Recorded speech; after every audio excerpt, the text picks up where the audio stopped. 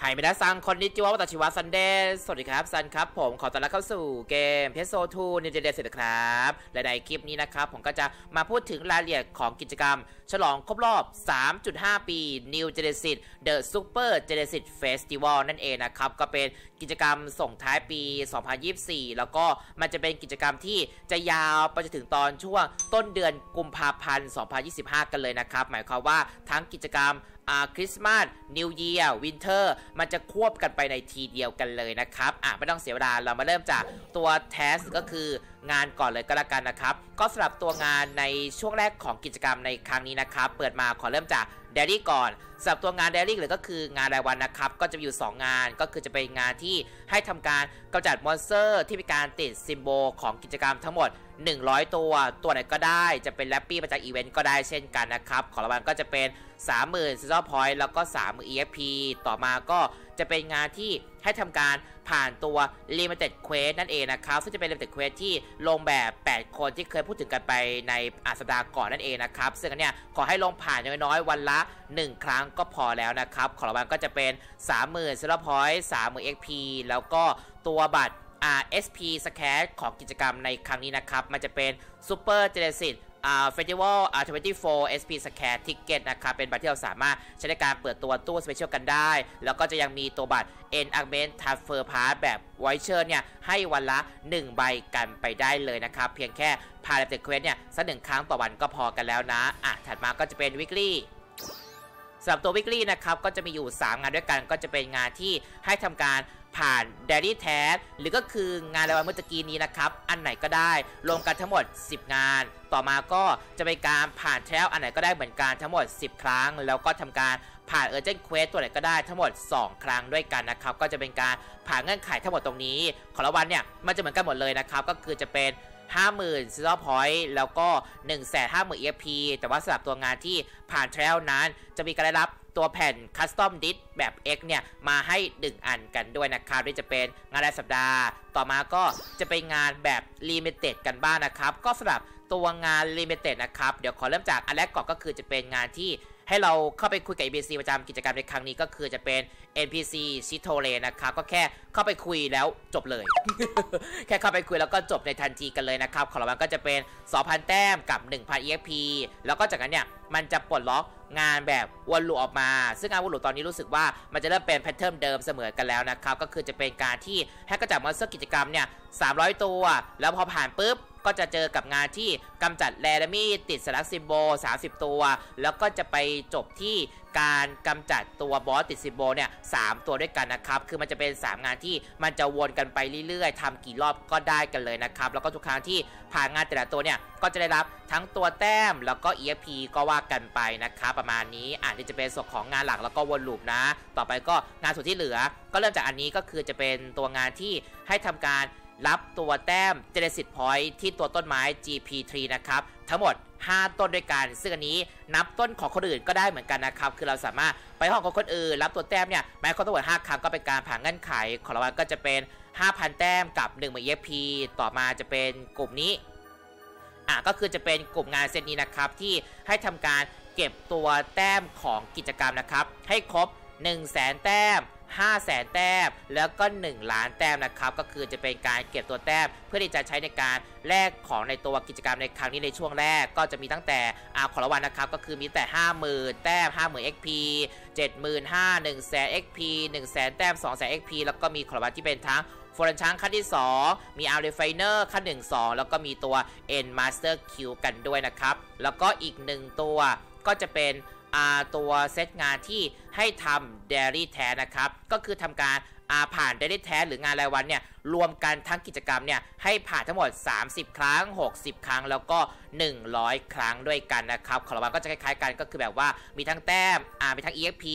ของรางวัลก็จะมีทั้งแผ่นดิสแบบ RX 2 แผ่น จะมี N RX Q 10 ก้อน แล้วก็มี N Master Q กันด้วยนะครับ แล้วก็สุดท้ายก็คือจะเป็นตัวงานที่ให้ทำการ แลกขอในตัวร้านค้ากิจกรรมในครั้งนี้นะครับ อย่างน้อยๆสักหนึ่งครั้งก็จะเป็นการผ่านเงื่อนไขกันแล้วนะครับขอรับก็เป็น 5,000 แต้มกับ1นึ่งหมื่นเยพีกันนะ ซึ่งอันนี้ก็จะเป็นตัวเซตงานในช่วงแรก ซึ่งผมขอเรียกว่าเป็นเซตงานในช่วงกิจกรรมคริสต์มาสนั่นเองนะครับ ก็จะเห็นว่าตัวกิจกรรมตรงตรงเนี้ยตัวงานตรงนี้นะครับ มันจะจบลงในวันที่ 1 มกราคม 2025 หมายความว่าพอขึ้นปีใหม่ปุ๊บ มันก็จะจบกิจกรรมตรงนี้กันไป แล้วก็จะเริ่มขึ้นกิจกรรมส่วนไปในทันทีกันเลยนะครับ เพราะฉะนั้นสำหรับคนที่แบบว่าต้องการอาจจะผ่านตัวงาน daily weekly งาน limited ที่แบบต้องผ่านงานให้ครบ 100 งานเนี่ย ก็ต้องทำให้เสร็จก่อนจะถึงวันตอนที่แบบวันที่ 1 ที่แบบเป็นตอนปีใหม่กันด้วยกันแล้วกันนะครับ ทีนี้มาดูตัวร้านค้าของกิจกรรมกันบ้างนะครับ ก็มาคุยกับ ABC ที่โทเลแล้วก็เรื่องข้อแรกที่จะเป็นการใช้ตัวแต้มซิซ a พอยต์ในการแลกของกันนั่นเองนะครับ ซึ่งของก็จะค่อนข้างคล้ายเดิมนะ ก็จะมีตั้งแต่ตัวบัตร Special s c a ของกิจกรรมที่สามารถแลกได้อาชุดละ 10 ครั้ง ราคา 1,000 กับ 5,000 ต่อมาก็จะเป็นทั้งตัวบิลพาร์3ตัวพอร์ต a b โฮโลแกรม 2 อัน จะมี ตัวอ c เซสซอรี่เครื่องประดับนะครับ ซึ่งนี่มันจะเป็นตัวเข็มกัดของอากูเลนแล้วก็คานุยนะครับ ต่อมาก็จะเป็นตัวสแตมก็จะเป็นสแตมที่เป็นตัวเรนูสุรีเทมก็คือจะเป็นตัวบอสฝั่งของรีเทมนะครับ อันนี้ก็ราคาหนึ่งหมือนได้ได้หนึ่งครั้ง ต่อมาก็จะเป็นตัวแต้ม อาสตาร์เจมก็คือแต้ม SD 20 SD มีตัวบายสวิสแคททิกเก็แบบปกติ ต่อมาก็จะเป็นตัวอาวุธซีรีส์เอ็กคูเซดิโอนะครับ ซึ่งเนี่ย จะราคา 20,000 และได้ครั้งเดียว แล้วก็ได้มีการอ่าบวก 60 มาให้ใส่อเมนเบื้องต้นมาให้ แล้วก็มีการปลดล็อกลิมิต 90 มาให้กันแล้วก็สามารถนำไปบวกต่อใช้งานกันต่อได้เลยนะครับ อะแล้วก็ถัดลงมาก็จะเป็นพวกตัวชุดเกาะซึ่งมีถึง 5 ชุดเกาะด้วยกันราคาตามนี้ แล้วก็สามารถได้ได้อย่างละ 3 ครั้งด้วยกันนะครับ ต่อมาก็คือจะเป็น พวกเกี่ยวกับตัวแรกตั้งแต่แร่แร่โมโนไทไล่ลงมาจนถึงตัวอินเฟอร์เรียมกันเลยทีเดียวนะครับ มีทั้งตัว Icing Q Icing Off ขั้น 2 ขั้น 1 มี Aegis Integra g o m e n ขั้น 1 2 d e s c a l e NXQ Master Fragment N Master Q ก็มีให้แลกกันในช่วงแรกกันเลยทีเดียวนะครับ มีฟลันชาขั้นที่ 2 a r i f i n e r แผ่นที่ใช้ในการคราฟตัว PA สกิลไว้ต่างๆ ขอที่ใช้ในการอัปเกรดตัวอาวุธกับตัวชุดเกาะ11 ดาว 10 ดาวเอ่ย จะมีโปรเกกินเดอร์ MS Updater ส่วนหลอดอัปเดตนั้นก็จะมีตั้งแต่ตัวหลอดขั้น 5 จะมีตัวหลอด LC หลอดโดไลเอลูเอยหลอดกิกัสขั้น 4 หลอดเดสขั้น 4 5 หลอดเดฟิ มีครบทุก phase อะสำหรับหลอดเดฟีในครั้งนี้นะครับเปิดมาก็มีให้เราแลกเนี่ยในทุก phase กันเลยทีเดียวตั้งแต่หนึ่งถึงห้าแล้วก็ปิดท้ายกันด้วยกลุ่มของตัวไอเทมที่คุ้นเคยกัน ก็คือจะเป็นทั้งดาบทองขั้น2บวก60 มีตัว ND มีโอ alpha reactor จำนวน 150 ก้อน ราคาก้อนละ 300 แล้วก็จะมีทั้ง N a r g m e n t Success Rate เนี่ยบวก 10%แล้วก็ปิดท้ายด้วย N Grinder ที่ไม่จำกัดการแลกนั่นเองนะครับ นี่คือของที่อยู่ในช่วงแรกของตัวกิจกรรมกันนะ ซึ่งถามว่าต้องการจะแลกทางร้านเลยเนี่ย ต้องใช้แต้มทั้งหมด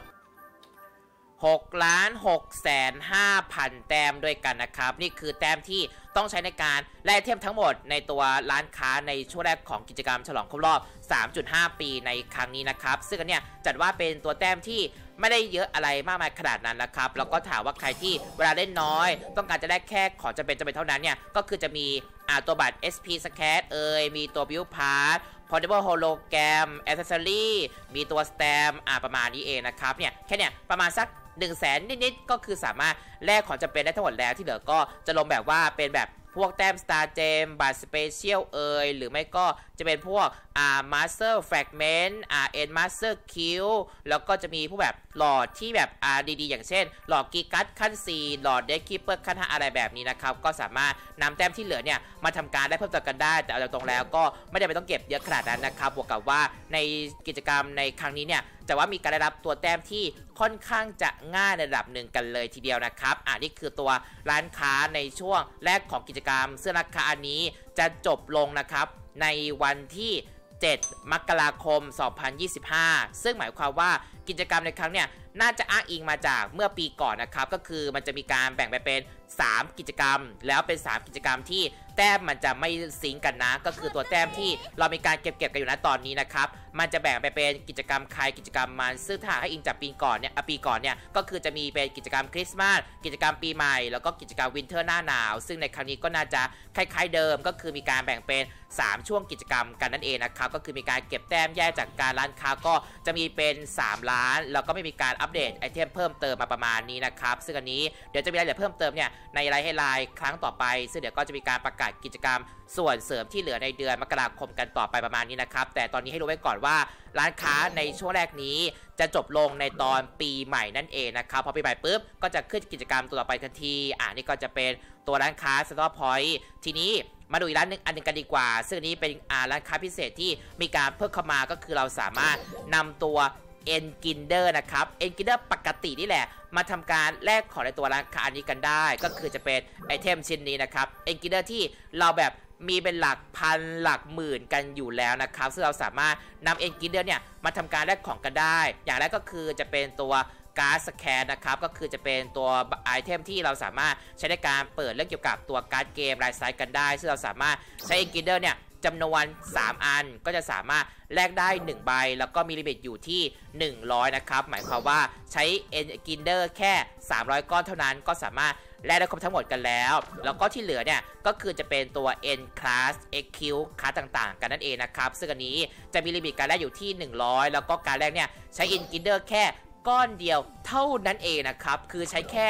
r เอกินได้แค่ก้อนเดียวเนี่ย เราก็สามารถแลกได้ทั้งหมดกันแล้วนะครับเรียกได้ว่าเป็นไอเทมที่น่าแลกมากเลยนะครับ เพราะ N Grinder เรามีเยอะกันอยู่แล้ว ก็สามารถนำมา trade ให้กลายเป็นตัวบัตรสุ่มกาชาการ์ดเกม แล้วก็รวมไปถึงตัว N Card XQ ที่อ่าในตอนนี้เนี่ยก็จะว่ามีการใช้งานกันเยอะระดับหนึ่งเหมือนกันนะครับที่จะเป็นร้านค้าที่ 2 นะ แล้วก็สำหรับร้านค้าที่ 3 ก็คือเป็นการ รีไซเคิลซึ่งของที่เราคุ้นเคยกันก็อย่างเช่น ตัวบัตร voucher ที่เป็นตัว SP Scratch นะครับ เราก็สามารถนำตัวเศษบัตรเนี่ย มารวมให้มันกลายเป็นบัตรเต็มกันได้ แล้วก็จะยังมีตัวไอเทม boost ที่เป็นการเพิ่มแต้ม seasonal point เนี่ย เพิ่มขึ้นเป็น 2 เท่าเป็นเวลา 1 ชั่วโมงด้วยกันนะครับ ก็ยังสามารถแลกไปใช้กันกันได้โดยการใช้ตัวแต้ม AC อ่าไม่ใช่ตัวแต้ม AC ใช้เรื่องของไอเทม AC หรือว่าก็เป็น SC เนี่ยในการแลกอย่างละ 5 ชิ้นด้วยกันนะครับอ่านี่ก็จะเป็นเรื่องของตัวไอเทมที่อ่ามีกันอยู่แล้วใช่ไหมแล้วก็ในครั้งนี้ตัวไอเทมเซตเนี่ยวนกลับมาอีกปีหนึ่งกันแล้วนะครับ นี่คือตัวไอเทมพิเศษที่เราสามารถนำตัวไอเทมจากตัวตุ๊กตา SG นะครับ จำนวนตามแต่ละอันเนี่ยมาทำการแลกกันได้อย่างเช่น ตัวล็อบเ c ชั่นหรือถ้า emote เนี่ยต้องใช้ทั้งหมด 100 อันนะครับ จะสามารถแลกเป็นท่าสุดแรงพวกนี้กันได้ก็คือแบบว่าเป็น VO Performance แด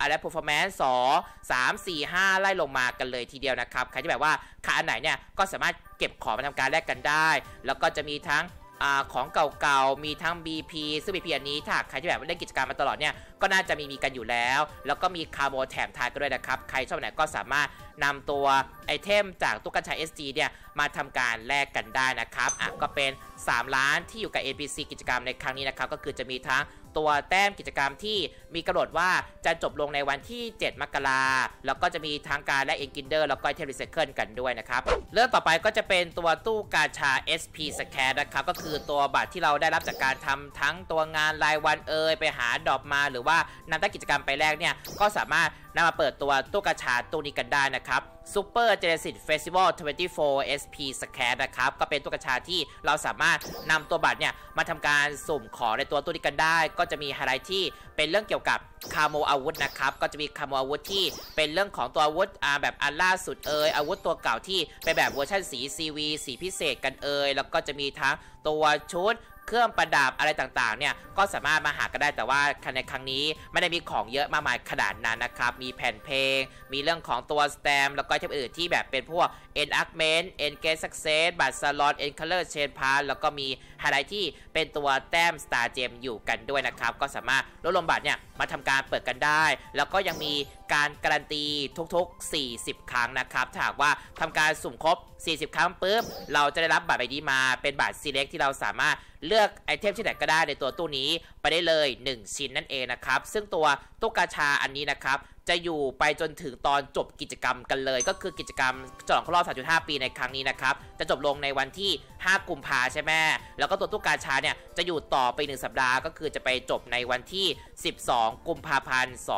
2025 นะครับ ก็สามารถเก็บตัวบัตรจากกิจกรรมตามแต่ละช่วงเนี่ยมาทำการเปิดกันได้เลยนะครับ แล้วก็ในครั้งนี้ไม่ได้มีแค่ตู้นี้ตู้เดียวนะครับ ยังมีอีกตู้หนึ่งด้วย นั่นก็คือตัวตู้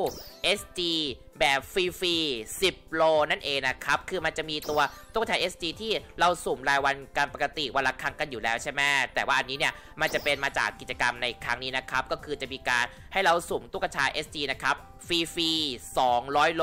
โดยจะแบ่งเป็น 2 part part ละ 100 นั่นเองนะครับ ก็สำหรับใน part แรกนี้ก็จะเป็นตัวตู้นี้นะครับที่จะอยู่ไปจนถึงตอนปีใหม่กันเลยนะ ก็คือตั้งแต่ตอนนี้ไปจนถึงตอนปีใหม่นะครับถ้าหากว่าเราเข้ามาในเกม จะอนุญาตให้ทำการสุ่มเนี่ยได้วันละ 10 ครั้ง ก็คือกด 1 ทีเนี่ยได้ไปเลย 10 roll ประมาณนี้นะครับ ก็สามารถทำการสุ่มไปเรื่อยๆ ซึ่งจะมีลิมิตอยู่ที่ 100 roll ด้วยกันเมื่อครบ 100 roll ปุ๊บ ตัวตู้ก็จะหายไปแล้วก็ไปรอใน part สองที่จะได้สุ่มฟรีอีก 100 roll ด้วยกันนะครับ นี่เลยเป็นสาเหตุที่ว่าทำไมถึงมีตัวร้านค้าที่ เป็นไอเทมรีไซเคิลที่ต้องนำขอตัวตุ๊กตา SG เนี่ยมาทำการแลกก็เพราะว่ามันมีให้เราสุ่มฟรีกันเองนะครับ ก็เลยมาทำการสุ่มกันด้วยกันละกันนะอ่านี่ก็จะเป็นเรื่องเกี่ยวกับตัวตู้กาชาที่เป็นทั้ง Special s c a t แล้วก็ตัวตัว SG ที่สุ่มฟรีถึง 200 roll ด้วยกันนะครับ อะ ถัดมาก็จะเป็นตัว Title หรือก็คือฉายาสำหรับฉายาในช่วงแรกของกิจกรรมในครั้งนี้นะครับ จะมีอยู่ 2 ตัวด้วยกันนะ ก็คือจะมีการเก็บตัวแต้ม อะสำหรับการเก็บแต้มนะครับก็คือจะเป็นอ่าตัวช่วงแรกใช่ไหมซึ่งอันนี้จะเป็นการเก็บแต้มนะครับแค่1นึ่งแสนแต้มก็จะเป็นการผ่านเงื่อนไขกันแล้วนะครับของรางวัลก็จะเป็นทั้งชื่อฉายา แต้ม Star Gem 5SG แล้วก็บัตร Enactment Transfer Pass Voucher จำนวน 5 ใบด้วยกันนะครับสำหรับตัวอีเวนต์ในครั้งเนี่ยเก็บ 1 0 0 0 0แแต้มเป็นเรื่องที่ง่ายมากๆกันเลยนะครับ นั่นก็เพราะว่าตัว Limited Quest เนี่ยมันให้รอบละ 1 0 0 0 0แกันเลยนะ คือถามมาดูที่ ตรง Quest Counter Limited Quest แล้วก็เป็น R Limited Quest ในช่วงนี้นะครับ เราก็จะเห็นว่าจะมีการรับตัวแต้มซิลเวอร์พอยต์นะครับ อยู่ที่1 0 0 0 0แสนแต้มต่อรอบ ซึ่งนี้คือต่อรอบกันเลยนะครับ แต่ว่า 1 0 0 0 0แสนแต้มตรงนี้นั้น มันก็จะมีการเปลี่ยนไปตามแรงที่เราจบได้ถ้าหากว่า จบแรง S ชนะตัวบอสเยติได้เนี่ยก็ได้รับไปเลยนะครับ รอบละ 1 0 0 0 0แสนกันเลยทีเดียวนะ ซึ่งหมายความว่าแค่ผ่านตัว Limited Quest เนี่ยแค่ครั้งเดียวเท่านั้นก็คือเป็นการผ่านเงื่อนไขของตัวฉายาตัวนี้แบบง่าย ๆ กันเลยทีเดียวนะครับอะแล้วก็อีกหนึ่งตัวนั้นก็คือจะเป็นการผ่าน quest ก็น่าจะรู้ๆกันอยู่แล้วนะครับ ก็คือเป็นการผ่านตัว quest ของตัวกิจกรรมในครั้งเนี่ยอย่างน้อยๆ สัก 1 ครั้งก็จะเป็นการผ่านเงื่อนไข แล้วก็จะได้รับทั้งชื่อฉายา แล้วก็ แต้ม Star Gem อีก 5 SG เหมือนกันนะครับ แล้วก็อีกหนึ่งตัวด้วยความที่ว่า Limited Quest ในครั้งนี้นะครับ มันจะแบบเป็นเวอร์ชั่นที่ลงกันหลายคนกับลงคนเดียว ซึ่งการลงหลายคนเนี่ย ขอแค่ผ่านสักครั้งหนึ่งก็พอแล้ว แต่ว่าอีกหนึ่งตัวนั้น เป็นแบบเวอร์ชั่นลงคนเดียวที่ต้องจบแบบ rank S ให้ได้ ถ้าหากสามารถจบ rank S ได้ปุ๊บ ก็จะเป็นการผ่านเงื่อนไขนะครับ ของเรามันก็จะเป็นทั้งชื่อฉายา แล้วก็แต้ม Star Gem 5SG เหมือนกันนะครับ ก็เป็นตัว2 Title ที่ เป็นการลง Limited Quest ทั้ง 2 แบบ แล้วก็สามารถทำได้จนถึงแค่วันที่ 18ธันวาคม 2024 เท่านั้นนะครับ ก็คือจะมีเวลาแค่สัปดาห์เดียวเท่านั้นนะ แล้วก็เรื่องสุดท้ายก็จะเป็นรายละเอียดแคมเปญส่วนอื่นที่มีกันเยอะแยะเหมือนเดิมกันเลยนะครับ เริ่มจากอย่างแรกก็คือจะเป็นการใช้งานซาลอนฟรีนั่นเองนะครับ ก็คือตั้งแต่ตอนนี้ไปจนถึงตอนจบกิจกรรมก็คือวันที่ 5 กุมภาพันธ์ 2025 เราสามารถใช้งานสลอนได้โดยที่ไม่ต้องมีการใช้งานตัวบัตรกันเลยนะครับ แต่ว่าการเปลี่ยนสีเสื้อใช้งานบัตร Color Change Pass ก็ยังมีการใช้งานตัวบัตรตามปกติกันอยู่นะครับ แต่อย่างน้อยในช่วงนี้ก็คือสามารถมาเราแต่งตัวละครเนี่ยได้อย่างอิสระกันเลยทีเดียวนะ ต่อไปก็จะมีการแจกตัวของรางวัลนะครับ ในแต่ละสัปดาห์กันเลยนะอ่ามาดูที่แคมเปญไอเทมที่มีการแจกนะครับ ก็จากสัปดาห์ก่อนที่แบบเป็นช่วงเขาดาวเนี่ย ก็มีการแจกของกันไปครบเรียบร้อยกันแล้วนะครับ แล้วก็ในช่วงเวลากิจกรรมในครั้งนี้ ก็มีการแจกของเหมือนกัน ซึ่งจะเป็นการแจกในทุกๆ สัปดาห์กันเลยนะครับ ก็คือจะเป็นของเซตนี้ ก็คือจะมีตั้งแต่ แต้ม Star Gem 50 SD กันเลยทีเดียวนะ มี NXQ MAIS Updater Lord ND Mio Enactment Transfer Pass Voucher มีไอเทมบูนะครับ ทั้งแบบ EX l a d o p EX EXP และในครั้งนี้มีตัวของกินและปี้คาราอาเกะกันอยู่ด้วยนะครับ ซึ่งเนี่ยจะเป็นไอเทมเซตที่จะแจกในทุกๆสัปดาห์ รวมกันทั้งหมด 8 สัปดาห์นะครับ หมายความว่าเราสามารถ รับแต้ม SG เนี่ยได้ฟรีๆถึง 400 SG กันเลยทีเดียวนะ ก็อย่าลืมมาทำการรับตัวไอเทมที่มีการแจกกันด้วยกันแล้วกันนะครับ ต่อไปก็จะเป็นการจำหน่ายไอเทมพิเศษที่ตัวร้าน AC และ SG Shop นะครับอะก็มาเริ่มจากตัวร้าน AC Shop กันก่อนนะครับ ก็คือจะเป็น 3 ไอเทมเซตนี้ที่เป็นช่วงเวลากิจกรรมแคมเปญนะครับ ซึ่งอันเนี้ยจะเป็นแบบพรีเมียมเซตแบบละแบบ 90 วันในราคาที่ถูกลงมาจากเดิมที่พรีเมียมเซตแบบ 90 วันนะครับ จะราคาอยู่ที่ 3,300 อันเนี้ยจะเป็นแค่ 3,000 เท่านั้น แล้วก็ยังมีของแถมตามนี้อีกด้วยนะครับ นี่คือเทมที่เราจะได้รับกันไปทั้งหมดกันเลยนะ ทั้งแบบ Enactment Transfer Lord Protect มี Preset SD Legacy Base Coin เนี่ยก็สามารถมาทำการรับกันได้ ต่อไปก็จะเป็นแพ็กเกจที่เป็นการาซื้อตัว r a d o p 200% 3 อันนะครับ แล้วก็จะมีของแถมที่เป็นตัว Element Transfer Part Voucher 10 ใบกันด้วย ต่อไปก็จะเป็นแพ็กเกจที่